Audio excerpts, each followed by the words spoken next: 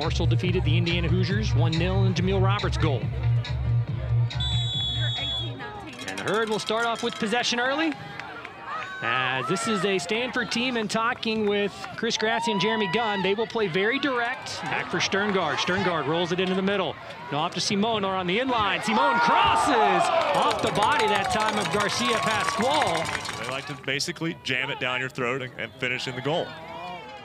Again, this is a Stanford side as now Garcia Pascual goes down and a card's going to come out against the Cardinal as Garcia Pascual is writhing in pain for Marshall, holding that the men's basketball team is top 25. Of course, the softball team a couple years ago made the softball College World Series. Baseball had a top 10 draft pick. And Chase Pilater, a West Virginia native.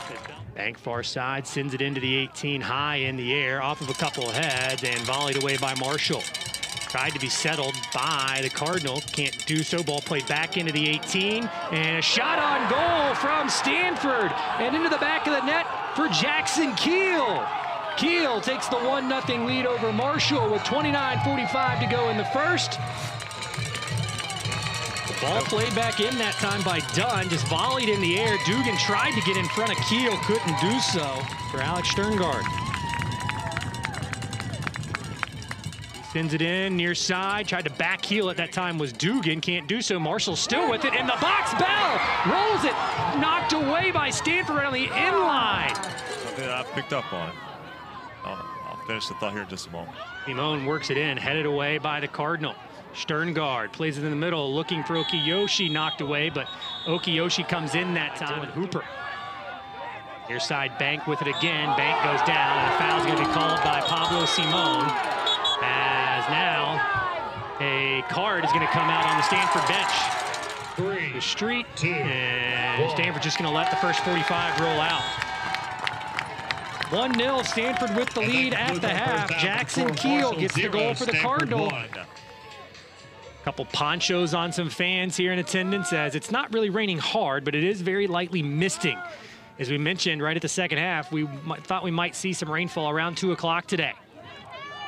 Side Gadar up ahead Bell. Bell gets tripped up from behind, and a foul's going to be called on Stanford. As I believe after the fact, Bell, I think, crashed into the leg of a Stanford player. As the foul will get called, A lot of the attack going through him early on here in the second half. Berngard raises the right hand, brings it down, sends it across towards the back post, punched away. Now one touch that time by Gadar, and Schnebley grabs it out of the air just inside the six. Stanford's going to try and possess as much as it can. As the ball nearly taken away, and a foul's going to be called on the Thundering Herd. Theo Gadar gets the yellow as Bohane goes down. As, to be honest, I'm starting to lose track of cards. That's number six of the match. And then just a thrashing, 4 nothing as the ball is mispossessed by Marshall, shot on goal. Perota, excuse me, mispossessed by Marshall, shot on goal for Stanford that rolls wide. Chris. Credit Stanford for a lot of that. Absolutely. Ball played back to Stanford into the box. Couple players with opportunities now. Right footed strike off the post and in. Will Reilly puts Stanford up 2 0 with 29.02 to go on his fourth goal of the season. See the beautiful touch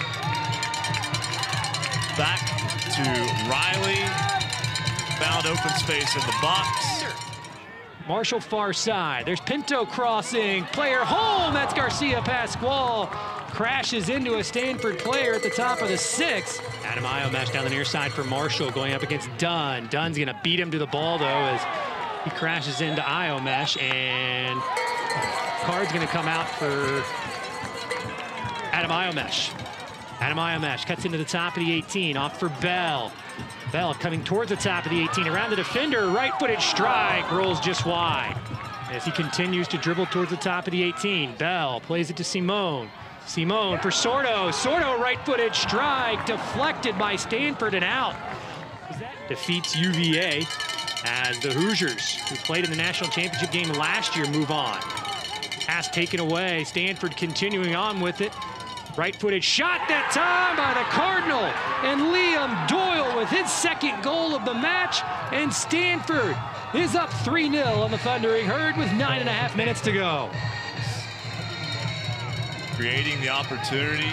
It's just that team aspect. Just each player creating opportunities for one another.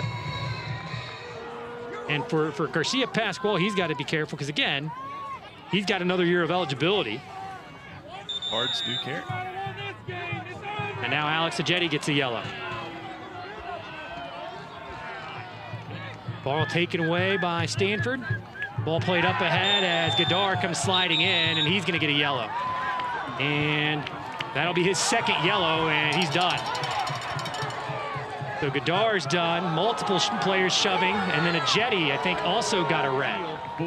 And, but the clock's going to wind down to zeros for the Marshall 2023 season as Stanford picks up the 3-0 win, knocks the one seed Marshall out of the 2023 Men's Soccer Championships, and the Cardinal come away with the upset